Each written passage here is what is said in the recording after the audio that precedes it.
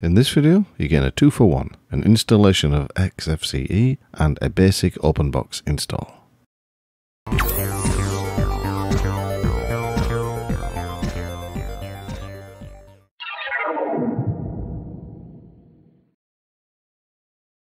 Right, we're on the usual test machine and I'm just going to run through a nice fresh install of FreeBSD. I'm not going to go into too much detail because you've seen me install it before nothing really changes. And this video really is just a combination of installing two desktops or window managers, XFCE and OpenBox. OpenBox is a bit uh, is a bit of a quick run through, but you can apply what I say about XFCE to that. Right, I've just logged in as RoboNuggie and I've just elevated root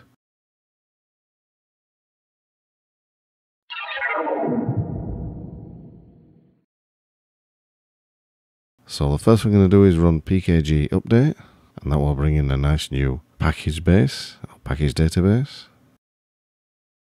And there we are. 31,624 packages are processed. Next we install Xorg because without that we're not going to see much. And I'll just go through that very quickly. Does take a little bit of time, that's why I'm speeding things up. The next thing we do is pkg install xfce and also xfce4 goodies. Now that brings in a few extra things that's not part of the base install of xfce. And we're all finished with that. Scroll down to the bottom. And then we're going to install Slim, the login manager. So we get a nice pretty GUI login. I'll just install that. And next, dbus. Well, the reason why we're putting dbus is that some applications or some part of the window managers uh, require you to have it. And it's, it's uh, compatibility. Next, we're going to edit rc.conf. And it's here that we're going to start or put two entries to start dbus and to start slim. So the first is dbus underscore enable equals yes. That will enable us to start both of these daemons when we restart the system, but we can also start them on the fly as long as we've got two entries in there. And the second one is slim underscore enable equal yes, and that will start the, the nice login manager after we reboot the system. So once that's done, we need to next create or edit. If you've got one, then fine. If you haven't, then you have to create it. But edit.xinitRC. And in that, we put xfce4 hyphen session. And that will tell us that when we start X, which we're going to do in a minute, it will start up xfce. And we're just going to put start X. And if things goes well, it should start up. And there it is. Fantastic. Right, yes, and it's uh, it's not a bad install. You get a lot of uh, extra things that you won't get on the basic install, and that's thanks to them XFCE4 goodies. It's very nice indeed.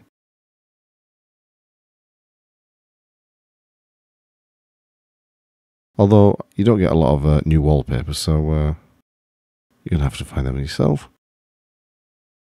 And yeah, 4.16, so not too bad. Right, I'm just going to log out of that. And we're just going to start up a couple of daemons. We're going to start up dbus, and then we're also going to start up Slim, just to show you that it works. So the first one is service dbus start. And because we've got the entry in the rc.conf, it will allow us to do this. And service slim start. And immediately it will go into, there we go, it goes into slim. If you type his username and password, because we put the XNRC entry, it should, hopefully, fingers crossed, take it, ah, there we go, take us into XFCE. Very nice indeed.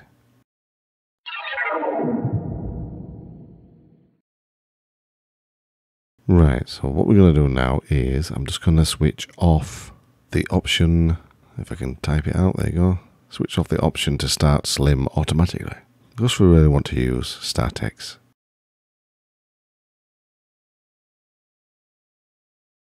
So service slim stop and there we go. Go into root again. I know we should use doas, but this is a quick demonstration. So we need to enter pkg install openbox obconf and kickshaw. obconf lets you configure openbox various themes and fonts etc and kickshaw is a menu editor. So here we go, ready to do that. Not that many files, because remember we've already installed Xorg. And there we are. So we just exit root into normal user. And again, we're going to edit the .xinitrc and we're going to change or add, yeah, we'll just comment that out. We're going to add exec uh, openbox. And it's really as simple as that. Now just save it. And start X and it should start to OpenBox. It's difficult to tell if we have. Of course OpenBox is very minimalistic and we haven't included a tint2 bar or anything. But if you right click on the desktop you can see it comes up with a pre-defined menus. Some are pretty much uh, a little bit out of date. But they can be edited. Yeah, so it's OpenBox.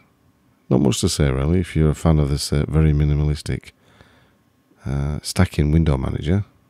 I prefer Fluxbox, but OpenBox has got its fans. So yeah.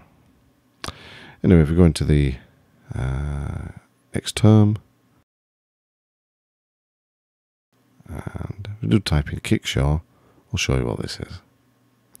Kickshaw-GTK2. There is a GTK3 one if you prefer that. And this is it. It will allow you to add menus and change things. and uh, But I think that will actually deserve a, a video in its own right. Maybe I will, maybe I won't. Anyway, that was just a quick video just to show you how easy it is to install XFCE and really just a few extra steps to install OpenBox. Thanks for watching and I'll catch you next time. This and every other video on my channel has been made using FreeBSD and open source software.